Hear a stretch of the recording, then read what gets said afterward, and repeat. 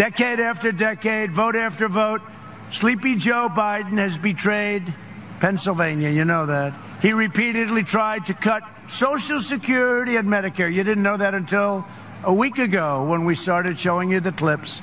And that was Bernie Sanders is the one that exposed him on that. Now, after years of economic treachery, he wants to ban fracking and he's going to